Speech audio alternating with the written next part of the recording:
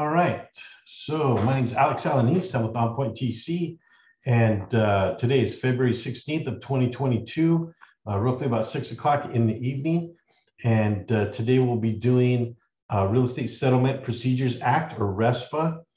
Um, I thought it was a good topic to go over and to cover.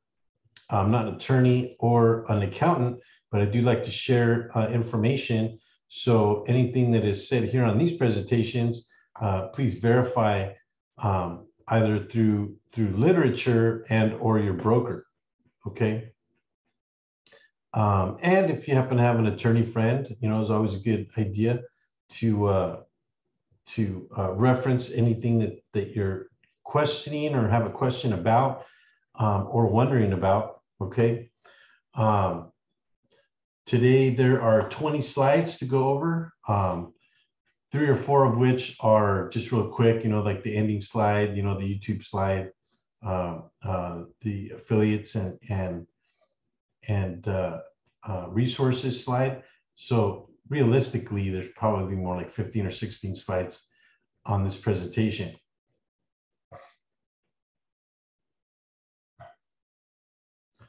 So um, today we'll be talking mainly about RESPA compliance so you do me a favor, guys, and make sure you're muted on your end. That way we have no background noise. Just try to have um, as little interruptions as possible. There's my information. If you if you should want to contact me or get a hold of me, um, if you can and or want to, you can uh, ask a question in the chat room. I'll try to get to your questions after each slide.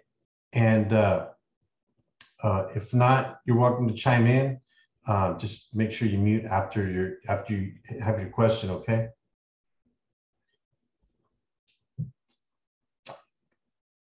And uh, thank you guys for logging in early today. I appreciate that. I assume there'll probably be three or four more people logging in. And uh, be sure to invite anybody who you think might benefit from these from these uh, uh, presentations. Um, as you know, these are also being recorded, so you're welcome to also invite them to subscribe to the channel. And the link comes over on the email that I send out every week. And I'll, I'll mention that again closer to the end of the presentation, okay? Uh, any questions or comments? All right, so let's get started. Re Real Estate Settlement and Procedures Act. And Larry, um, you, you, probably know a lot about this, so feel free to, to chime in. Um, let's start with um, the definition. Okay, so what is RESPA? RESPA was signed into law in December of 1974 and became effective on June 20th, 1975. Right? Despite numerous changes and amendments, its intent is to inform consumers of their settlement costs and prohibiting kickbacks that can increase the cost of obtaining a mortgage. RESPA covers loans secured with a mortgage placed on one to four family residential properties. Originally enforced by HUD, RESPA enforcement responsibilities were assumed by the CFPB, the Consumer Financial Protection Bureau, when it was created in 2011. So originally HUD was, um, or Housing and Urban Development was, was enforcing the RESPA laws but now those have been flipped over and now the responsibility is taken over by the CFPB. Any questions or comments? All right, so moving right along. Um, so let's move on to def the definition. On November 20, 2013, the US CFPB issued a final rule to integrate disclosures and regulations required by RESPA and, and the Truth in Lending Act, which is and we're going to be using a lot of acronyms today. It's Truth in Lending Act or TILA, T-I-L-A. Okay, so um, uh, you know I like to use acronyms a lot.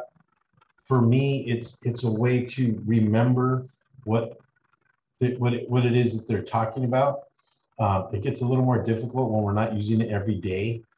Um, so these these acronyms are a little bit more uh, a little bit harder to remember because we don't use them every day. But when you see TILA, you know it's Truth in Lending Act. The final rule called TILA RESPA, Integrated Disclosure or TRID, right? So we have T, TILA, RESPA R, integrated I, and then disclosure, right, D, or TRID. Integrates existing disclosures with, with new requirements from the Dodd-Frank Act to improve consumer understanding of the mortgage process, aid in comparison shopping, and help prevent surprises at the closing table.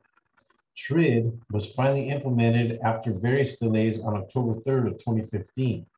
And I actually had a show on that uh, when it first came in, um, and we talked about that. So uh, that will probably be coming up here in weeks weeks to come. Any questions or comments on that slide? So we have we have TILA Truth in Lending, and we have TRID, um, the TILA RESPA Integrated Disclosures, TRID. So short explanation of the Dodd-Frank Act. short explanation. uh, the Dodd-Frank Wall Street Reform and Consumer Protection Act was signed into federal law by President Obama on July 21st, 2010, passed as a response to the financial crisis of 2007 and 2008.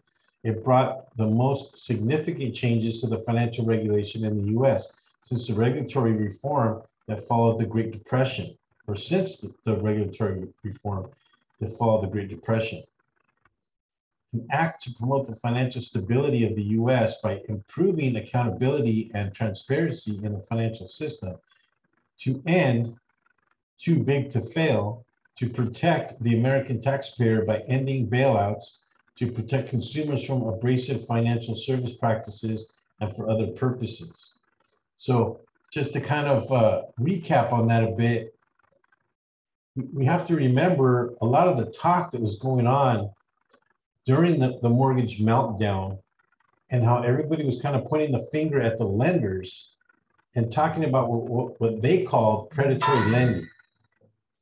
So the predatory lending that we're talking about was everybody pretty much telling the lenders, hey, you you um, gave me a loan that I really wasn't supposed to have or get.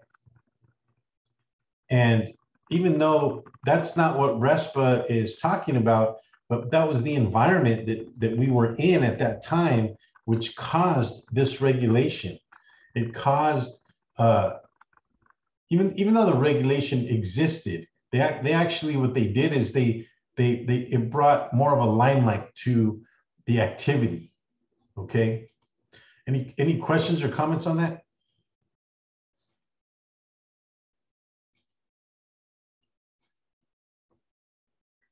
Okay, so I did this so we can kind of remember um, the acronyms. Okay, so RESPA is Real Estate Settlement Procedures Act, right?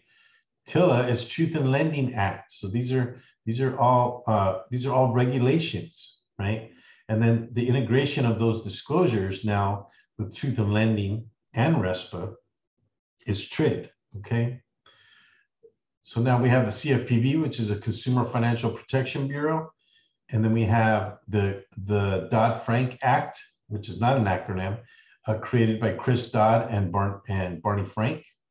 And then, and then we have an acronym that was actually created by the regulators um, to try and remember uh, why all of this exists, right? So it's know before you owe, meaning that if if you know what's happening and what's going on with your loan before you actually owe it, you can't point the finger at the lenders and say that it's predatory lending. So uh, this is a, a, an industry made up um, way of looking at it, right? is K KBYO, right? Know before you owe, right? So um, I don't know, Robert Slay, I don't know, you might want to take a picture of that because uh, of the acronyms. We don't we don't use them every day. All right, so that said, um, we can keep moving here. Any questions or comments on on on those acronyms? So real estate brokers and mortgage companies occupy first class seats on the train of home ownership. Uniquely situated at the crossroads, brokers and loan agents are at the front line. And that's true. these are these are the individuals that are literally uh, talking to the clients, which is us, right? We're talking to the clients, so we have a front row seat to home ownership. Real estate brokers and mortgage companies find themselves refers of settlement service business, right? So what, what is settlement service business? Title and escrow companies are referees of settlement service business. So when we're talking about RESPA, right, Real Estate Settlement Services Procedure, Procedures Act, right, or RESPA, those are considered, title and escrow are considered settlement services. So they become the referees, if you will, of um, almost like the police, right, of the industry when it comes to uh, agents and, and mortgage brokers who are dealing with the people firsthand. Any questions or comments on that? All right, so first, first we'll talk about what is prohibited by RESPA, okay? Section 8 of RESPA prohibits a person from giving or accepting anything of value for referrals of settlement service business related to a federal related mortgage loan. And the, the, probably the most important thing said here is anything that's related to a mortgage loan. Doesn't say anything else. So, so understand that an escrow company or a title company, right, uh, prohibits a person from giving or accepting anything of value for referrals of those services right? And uh, I know that that most title reps are very very cautious about that. Uh, they don't want to be reported. You know, they're very cautious about making sure that if somebody should bring something like that up, they have a, a, a good business idea. Hey, you know, why don't we try this? Most title reps and escrow officers or, or their escrow reps will say, "Oh, we can't do that," because they know they know they're not supposed to. Any questions or comments on that? So, so now we have the, the anti-kickback law of RESPA, right? Uh, Federal-related mortgage loans, any loans secured by a first or subsequent lien on a one to four family residential property, right?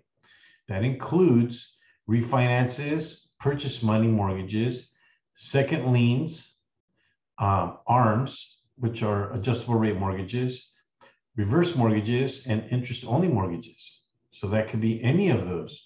If any of those are, are, are related to uh, your client's um, inclusion, right? You, you cannot be giving kickbacks to the settlement services. Or I'm sorry, the settlement services are not allowed to give kickbacks. Um, it excludes commercial loans, construction loans, temporary financing, property over 25 acres, and business purpose loans. So any of those things, a, a title or, or a settlement service, escrow company, my settlement service, can uh, market themselves for those things. So, sorry, I'm, I'm, I don't know why I'm so thirsty today. It might be the weather. It's weird because it was really hot last week and now it's cold. So, so just uh, any, any questions or comments on the last one? On the last slide? No. So let's do a quick funny. See, you gave away 60 billion toys and didn't get one receipt. that's funny. Uh, I'll be nice that home buyer will be, oh, I'm sorry, it'll be nice if that home buyer will be easier to understand, right? Once he understands how and when to implement TRID, right? So here you have the lenders and the realtors kind of scrambling, and you have the TRID imp implementation, which um, I think is uh, uh, 72 hours, the disclosure period. Uh, and that's the reason for the hourglass there in the middle. But uh, uh, I thought that was that was a good uh, funny for the topic today because it's the truth. Um, even though I think it was a pretty good transition, because I remember when all that happened, it was a pretty good transition, and now everybody's just kind of used to it. You know, we're we're we're getting the the disclosures out from the lenders, and you know they they have their their three day period that they have to wait for uh, for them to um, to sign and return them. But uh, uh, good stuff. So, any questions or comments? All right, so um, let's go through the exceptions, right? So uh, affiliated business arrangements, right? So ABAs are a way for real estate brokers and or agents to legally receive a share of the profits from mortgage financing and or title insurance when you purchase real estate. So what is an affiliated business arrangement? It's simply a disclosure to the buyer, pretty much telling them that, hey, you know what? I am a mortgage broker, but I also have an escrow company. And and it, if you use my escrow company, I potentially am making a little bit more money than normal uh, because of that escrow company. But in the disclosure, it has to say that, and it also has to say that you, Mr. Buyer, have the right to choose whomever you like. So, so it, it's really saying two things. It's disclosing the company that you're uh, working with, and it's also telling them that they can use whoever they like. They, they don't have to use that company just because I'm referring them to that company, right? Now, if I'm insisting that they use that company, that's called steering, and that's not allowed, okay? But this is an exception to that. Is if you use an affiliated business arrangement, um, you you can now uh, profit from um, those arrangements, those business arrangements. You just have to disclose to the buyer. Right. So Section 8C2, a payment of a fee, attorney, title, or lender, uh, payment of a referral arrangement, an employer's payment to its own employees, which is obvious, and transactions on the secondary market. So uh, some of you who might be familiar with loans know that uh, uh, the companies that give out loans at some point run out of money, so they have to sell their paper in order to get more money to do more loans. Because quite frankly, they're making money on the um, origination of those loans, um, not just the interest. So that's uh, uh, an exception to uh, the RESPA rules, right? Uh, obviously, a payment of a fee. So, in other words, if you have uh, to use an attorney, or you have to use a title company, or you have to use a lender, right? You're paying their fees. So, obviously, that's not a referral, right? That's just their fee, right? Uh, payment of a referral arrangement. Like, let's say you're doing something out of state and um, you have a referral arrangement with another agent, right, uh, in another state who who happens to have uh, a relationship, say, with an escrow company, okay, and then and then the obvious one, the the employer's payment of its own employees. Obviously, employees uh, don't work for free, so they are excluded from um, the original rule or or pro, pro the prohibition uh, prohibition of uh, those referral fees. So, any questions or comments on that?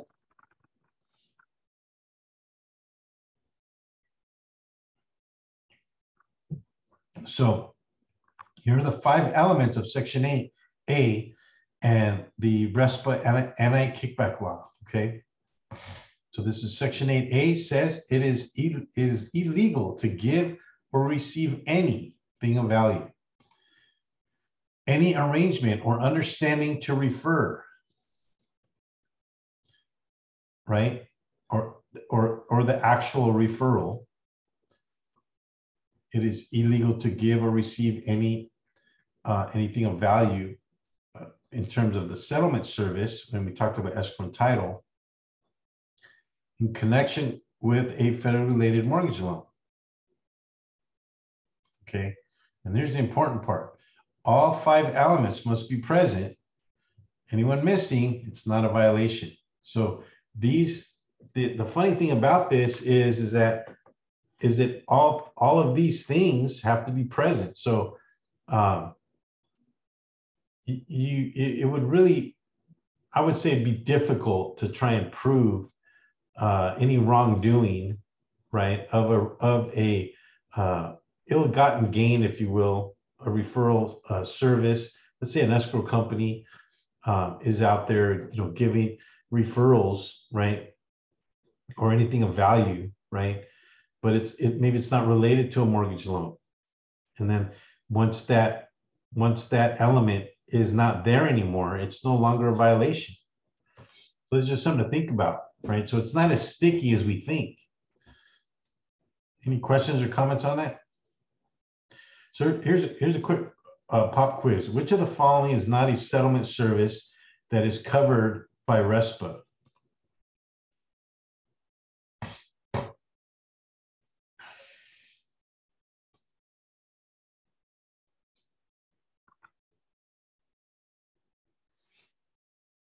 So which of the following is not a settlement service that is covered by RESPA? Okay, yeah, good. So it was, it was number two, right? The furniture movie, right? So let's let's move on to the second uh, uh, quiz question. So under RESPA, a real estate professional may give in return for the referral of real estate settlement service business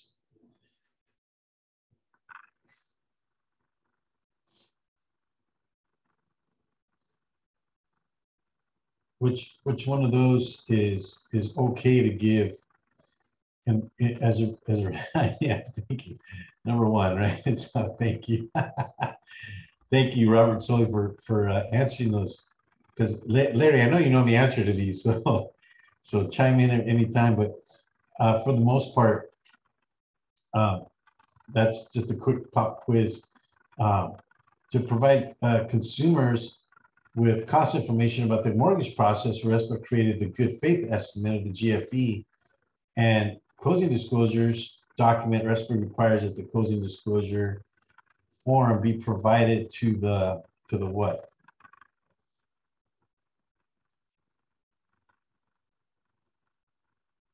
Which which which should the, the GFE or the closing disclosure should be provided to whom?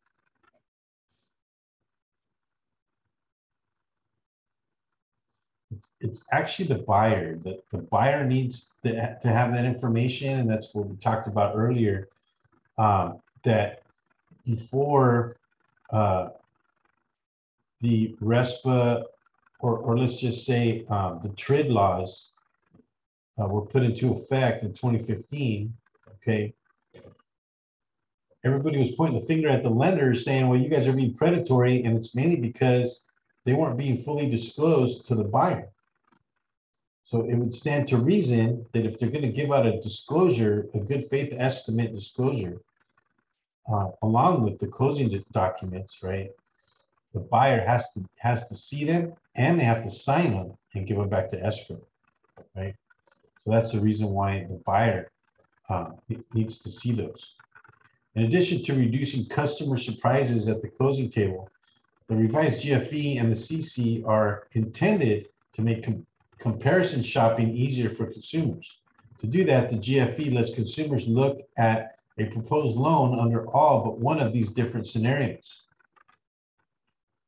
The loan as proposed, the loan with a lower interest rate, the loan with different underwriting terms, or the loan with lower settlement charges. So I'll read the question again. In addition to reducing consumer surprises at the closing table, the revised GFE and CC are intended to make comparison shopping easier for consumers. To do that, the GFE lets consumers look at a proposed loan under all but one of these different scenarios. So any idea which one that might be? Yeah, exactly the, the, the loan with different underwriting terms. And that's because who would do that? Who, who would give them a different scenario with different underwriting terms? Underwriting terms would be the same pretty much with every lender because they're looking at FICO score, they're looking at income, they're looking at their, their income ratios, right? And it's just all about qualification, right? But but when it comes to comparison shopping, you you are comparing interest rates and you are comparing the proposed loan, right? And you are comparing lower settlement charges. So that's the reason for uh, the GFE and the closing disclosure, right? But they're certainly not showing you underwriting terms. those things are happening in the background. So, so thank you for that, uh, Robert. So, uh, any questions about that one?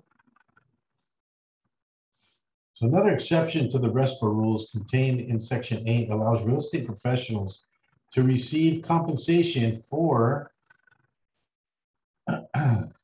filling out a mortgage application, telling a home inspector the address of the property to be inspected, the reasonable value of goods and services actually provided or performed, doing the same thing they have been paid to do as real estate professional. So some of these answers are silly, but that makes the obvious one stick out. Yeah, so another another exception to the to the RESPA rules contained in section eight allows real estate professionals to receive compensation for the reasonable value of goods and services actually provided or performed. Why not? That's just reasonable, right? The word reasonable is the underlying uh, point here, right? And the idea is, is to be able to see what the value of the goods and services are and, and what they are. So number six, RESPA allows title companies to provide real estate professionals. $50 for every client referred to the title company by the real estate professional, an entry and a contest to win a car for every $1,000 of premiums paid, tickets to a, a base or baseball game once a week for the entire season, notepads that have been imprinted with the title company's name and phone number. What, what do you say? Yeah, number four, of course. and, and that's because we have stacks of them in our office, huh? yeah, you know, the, the title reps that come around and they that's what they give out. And that's because they can. That's, you know, it's not really something of value necessarily. It's, I mean, it is, but it's something that you can use. And, you know, it's, it's, it's advertising. I think that that's, uh, goes under that umbrella for the title companies is is that they they're advertising themselves so is that really a thing of value i mean you know it's questionable and i think that that's why it's allowed right any questions or comments on that so the, the affiliated business provision which is an exception to the general RESPA rule regarding compensation for referrals allows the real estate professional making the referral to receive a small referral fee the party making the referral to receive a return on its ownership interest in the company received the referral. And that, that one gets a little confusing. The buyer to avoid having to pay real, real property transfer tax, the seller to require buyers to use the seller's attorney. So what, what, what are we really saying here? The affiliated business provision, which is an exception to the general rule regarding compensation for referrals, allows so remember that the, the affiliated business arrangement is simply a disclosure to the buyer stating, number one, that me as a broker or agent are affiliated with another business. And number two, you can pick whoever you want. So it's a disclosure. So um, what, do you, what do you think is the answer to this one? Uh, the real estate professional making the referral to receive a small referral fee. Um, I, I, would say, um, well, it's it's actually it's actually number two. Uh, the party making the referral to receive a return on its ownership interest. Because remember, uh, I might be a broker that owns a, an escrow company, right? So that that has to do with my ownership. And So let's just say I'm the broker, right? uh, I have an ownership interest in the company and I'm receiving the referral. So that that's the one exception to the rule, right?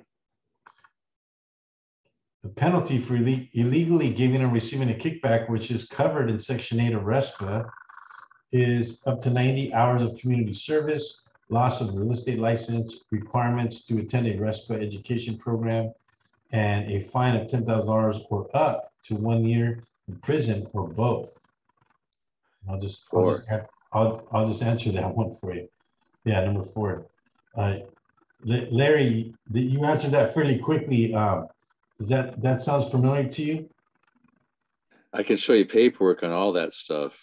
Right I mean, even more, and not up to ten thousand, but uh, also whatever the fines are for the title person. They just had somebody that got uh, convicted of that, and the title company got fined a million dollars, and that was probably within the last couple of months. They're right now researching another person on this, and I don't know what the fine will be on it because they haven't uh, gone to court to settle it all, but it can get quite pricey, as well as people losing licenses. So whatever happens to the rep also happens to whoever they're dealing with. Yeah, so I'm assuming that that that settlement that you talked about was probably for multiple um, uh, occurrences. It wasn't just you know a one-time deal. And, no, it was a uh, years, probably decades of. of oh yeah, yeah, yeah, and that makes sense to me, right? So, so you have you know these individuals that are going out and and they, they really uh, uh, tilt the playing field for the rest of the, the industry, right? When they're doing that, and and and this is what makes it hard, right? So, I just wanted to include this uh, question in here because I thought it was important. Um, even though, like you said, there's probably a lot to talk about, but um, as it relates to real estate agents, this is just a, a, a, the tip of the iceberg when it comes to some of this stuff. Um, when it comes to you know really not getting involved in this activity. So, um, any of the questions or comments on that? Okay, so it looks like we're doing pretty good on time actually, um, 6.35, and we're already on final thoughts. So um, let's just go through the final thoughts real quick. RESPA, along with Dodd-Frank Acts, were designed to protect the consumer from lenders and agents causing prices on settlement services to increase. It stands to reason if the escrow and title companies must pay to stay in business, prices will go up. We should create relationships with numerous companies and spread the love, so to speak. Try to keep the industry of settlement service referrals spread out as to not making one stronger than the other as this may inhibit weaker companies, which in turn promotes kickbacks. Don't do it without the proper know-how. So that said, uh, we'll go into the YouTube channel stuff real quick. Um, but I just wanted to mention that um, RESPA, we, we don't we don't look at it. Um, I think as real estate agents, uh, as very serious because you know who's really policing the industry? I mean agents i think get a lot get a, away with a lot more just in their own business not worrying even worrying about the settlement services right? Um, but at the end of the day um, it does exist. And i think you know this this light exposure you know it, it turned out to be probably end up being like a 45 minute class but this light exposure to it it, it kind of uh, it, it, you know it, it breaks the, the ice if you will on this activity. Because i do see it happen uh, i've seen it happen on on like facebook right? Where uh, there was um, uh, this this particular time there was uh, a real estate agent and he was taking kickbacks from a inspection company right? And uh, uh, in turn was uh, tied to an escrow company. And you know, I tried telling them that hey, this could possibly be a violation. Well, they all started getting mad at me for for just pointing it out. You know, they said, yeah, just go ahead and do whatever you want. You know, th- you know, he doesn't know what he's talking about. This and that. And I was like, okay, well, I'm I'm I'm potentially seeing some violations here in terms of of you know you, what you guys are offering. They were offering uh, kickbacks if you happen to show up to this open house um, and so, you know, it was just some stuff that that that uh, we all try to creatively try to advertise ourselves. Um, that just happens to be something that you don't want to go down that road. Don't use escrow and title companies as your go-to for your advertising. You know, don't don't. It's it's just not something that is well. Number one, it's regulated it's not allowed. It's prohibited, right? So um, just something to think about when it comes to that that um, arena of things, because we all try to be creative. You know, I talk about it here all the time. You know, be creative in, in your marketing and advertising. um, it doesn't mean that everything is allowed. So moving on, uh, there's my information again. You guys feel free to call me anytime. But if you're interested in viewing previously recorded presentations, please visit that channel. That link is included in the email reminder sent every week uh, for the training. So you guys, I believe, are receiving those emails. Uh, the link is at the very bottom. Um, so please do me a favor if you haven't already done so. If you can subscribe to the um, to the channel, and that way I can get credit for um, for the views. Okay, and feel free to share that too, guys. It's it's free. Uh, I have it out there. You know, again, one of the reasons why I do these classes is because I'm trying to tug on. If if we're in a tug of war, okay, with um, the, the real estate agents that are out there that, that are really basing their career on simply just a commission check versus their professionalism, okay, we're on the side of the professionalism and they're on the side of just wanting to get a check. They don't care what they do or how they do it. All they care about is getting that check. So they do anything they possibly can. They, they, they'll lie or step on whoever, uh, or lie to or step on whoever they feel they have to step on in order to get that commission check. And so I'm, I would like to be on the other side of that. Okay. Um, I would venture to say that those individuals will never bother to watch any of these presentations, which um, me being in the real estate industry now for 33 years, wish I had some of this stuff when I was uh, coming up the ranks. Okay. That somebody had explained some of these things to me and uh, it would have really helped me um, through some of the pitfalls that I actually went through. Um, so I decided to share. So this is the reason why I tug that direction, and I'm hoping that you guys take the same position and get on my on my side of the rope. Because let me tell you something, I am as interested as getting you guys a paycheck as the guys on the other side of, of the rope. The only difference is, is that I want to do it uh, professionally and knowledgeably, right? I want to do it with some legitimacy in what it is that I do. I'm not stepping on people. I'm not. I'm not uh, lying to people. Uh, you know, th- those are not common professional practices. And and so I would rather be on the side of tugging the rope, you know, this direction, uh, and hopefully we win at some point. But for the most part, this is the reason why I have these these presentations, and I like to share. Uh, you know, I have had those um, individuals kind of say, "Well, Alex, you know, you're not a teacher, uh, you're not a broker, uh, you're not this, you're not that." Um, hey, guys, you know what? I'm exercising my First Amendment right, freedom of speech, and I want to share with you guys uh, good information. I would say that uh, any of those individuals that that are saying that, you know, I'm not a teacher, whatever. Hey, challenge, come come on the class and challenge what it is that I'm saying. Am I saying anything wrong?